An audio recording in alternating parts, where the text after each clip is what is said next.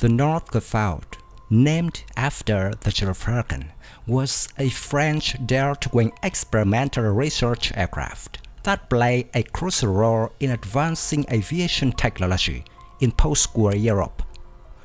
Developed in the early 1950s, the Nord Gerfaut holds the distinction of being the first European aircraft to exceed Mach 1 in level flight without the use of an afterburner. This remarkable achievement highlighted France's resurgence in aeronautical engineering and set the stage for future innovations.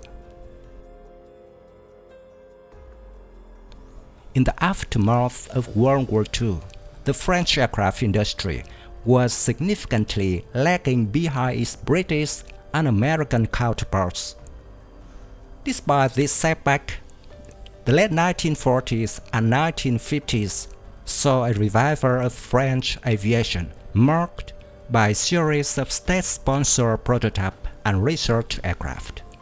Among these was the Nord 1402 Gerfaut, designed to explore the aerodynamics and behavior of delta wings at high speeds.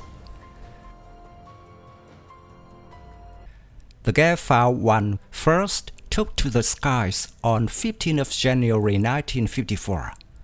This single-seat aircraft featured a distinctive delta-wing configuration, which was a relatively new and exotic design at that time. The delta-wing provided excellent high-speed performance and stability, making it ideal for transonic flight research. Powered by Snecma Atar 101B turbojet engine, the Gerfaut 1 achieved a historic milestone on 3rd of August 1954, becoming the first European aircraft to exceed Mach 1 in level flight without afterburning. After its initial success, the Gerfaut 1 underwent several upgrades, resulting in the 1402B Gerfaut 1B configuration. This modified version first flew on 17 of December 1954 and soon demonstrated its enhanced capabilities. In early 1955, the Gerfaut 1B reached a speed of Mach 1.2 at an altitude of 15,240 meters, equivalent to 50,000 feet. On 26 October of the same year, it achieved Mach 1.3 in a steep dive from the same altitude. These impressive performances underscore the aircraft's ability to operate effectively in the transonic regime.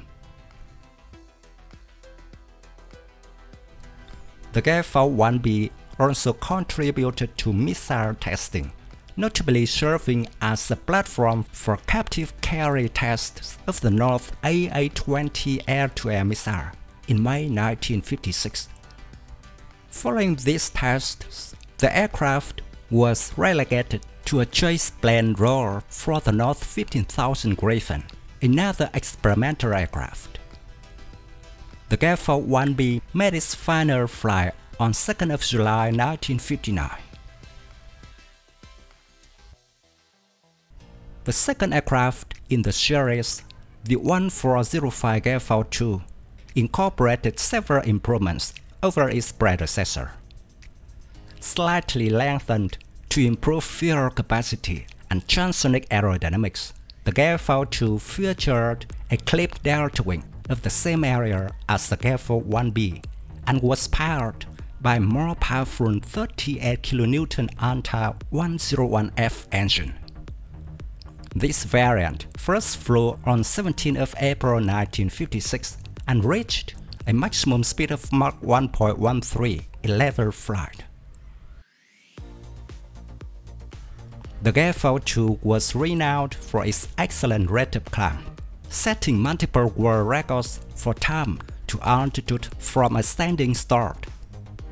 In June 1956, it performed demonstrations at the Paris Air Show, showcasing its capabilities to an international audience.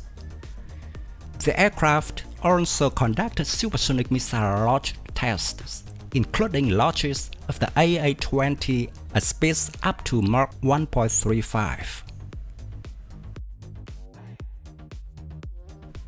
Subsequent upgrades included the installation of a more powerful Atar 101G turbojet engine and various air-to-air radar systems.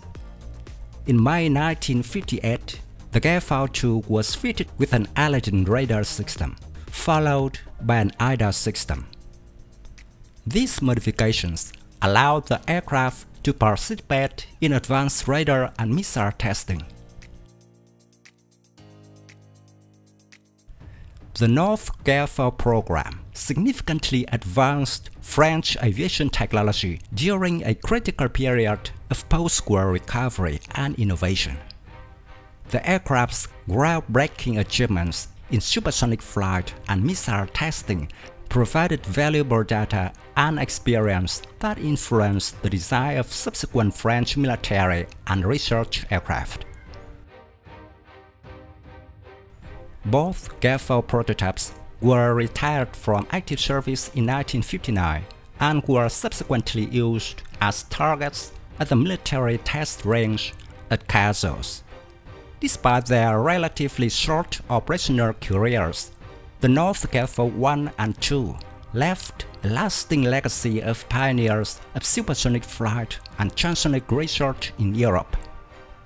Their contributions laid the groundwork for future advancements in French aeronautical engineering, helping to re-establish France as a leader in the global aviation industry.